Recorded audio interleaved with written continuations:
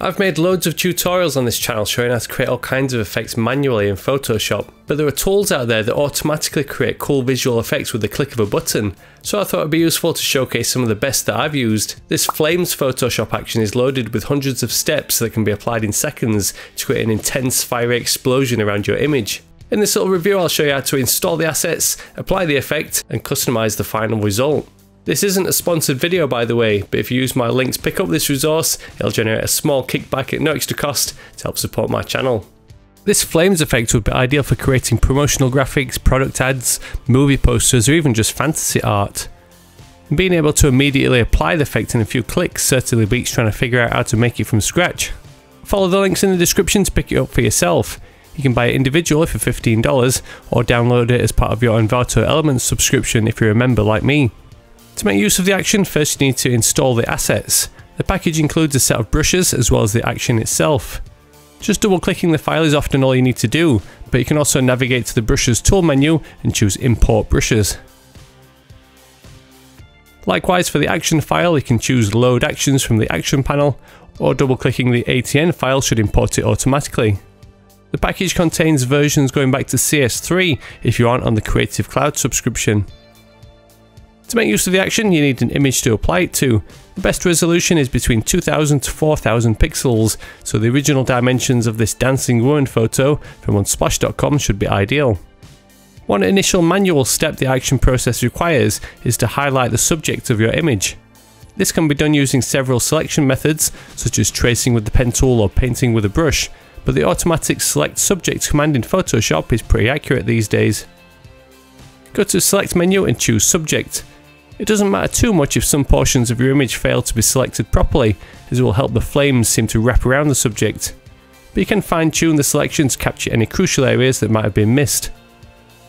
Activate the quick selection tool and hold shift to add areas to your selection, or the alt key to remove areas. Create a new layer and fill this selection with any colour. Using the alt and backspace shortcut is an easy way to fill it with the current foreground colour. Go to select and deselect or use the command and D shortcut. Next there's one crucial step that can be easily overlooked that will completely prevent the action from working. This layer must be renamed to brush, all lowercase letters. Ideally the creator would have added an extra step to the action process that could avoid any issues relating to this, but as long as you remember to rename the layer it'll be all good. Then you're ready to apply the flames effect. Open the actions panel and expand the flames folder you can see the lengthy process this action performs, which shows just how much time this action can save.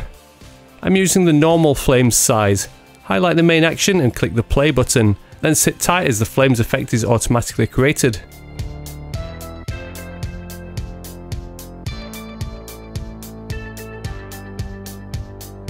What's great about this action is it leaves the effects completely layered and organised into groups.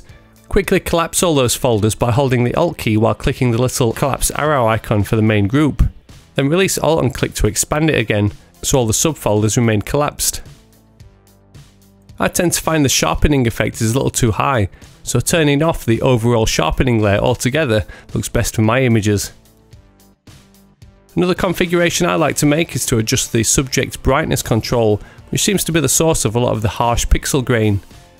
Open up the shadow brightness controller levels and alter the highlights sliders in the properties panel. Cropping these highlights can often help to reduce the harshness. You might also want to tweak the levels for the midtone and highlights too. Exactly how much depends on your image, but this step can really help to reduce the overall crispiness. One extra step you'll really want to make is to play around with the reveal flames layers. These groups with the black layer masks contain extra effects that can really enhance your final result. Hold the shift key and click the layer mask to toggle them on and off to take a look at the contents. The action should have already selected a nice soft brush for you, just make sure your foreground colour is set to white to reveal areas of the mask, then paint to restore these additional flames. It helps to toggle the mask on for a moment to find a nice looking flame, then paint in that area to restore it.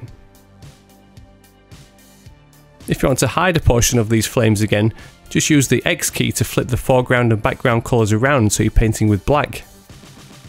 The same can be done with the second flames layer, which just helps to make the fire seem to engulf and surround the subject.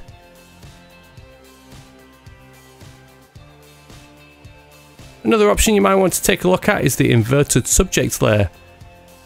This only needs to be used in moderation, but you might find a specific portion of the image looks better when inverted.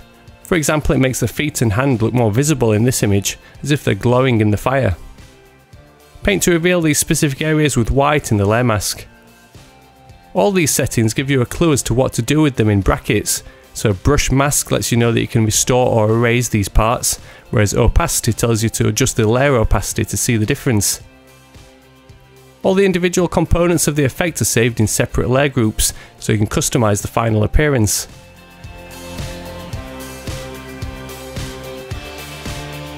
Let's take a look at another quick example using this photo of an eagle from unsplash.com.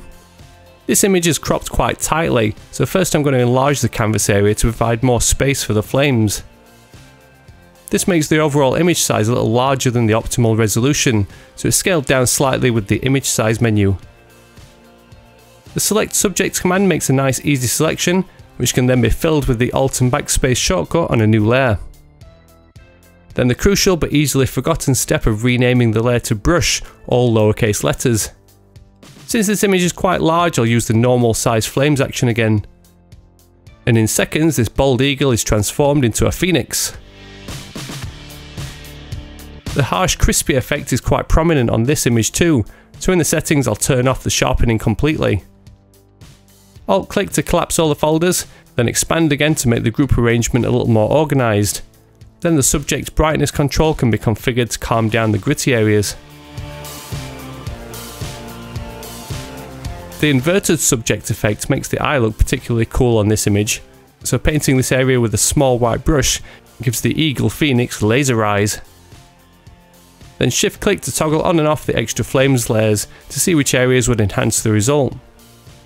Restoring most of the first flames layer helps to engulf the phoenix in fire, but not the areas that would obscure the main head. Turning down the original subject colour opacity helps to blend in the bird with the ready orange of the flames, turning this photograph into a pretty cool fantasy image that only took minutes to make. Follow the links in the description to give this Flames Photoshop action a try yourself. Stick around for more of my content by subscribing to the channel and be sure to join my mailing list at Spoon Graphics to download all my free design resources. As always, thank you very much for watching, and I'll see you in the next one.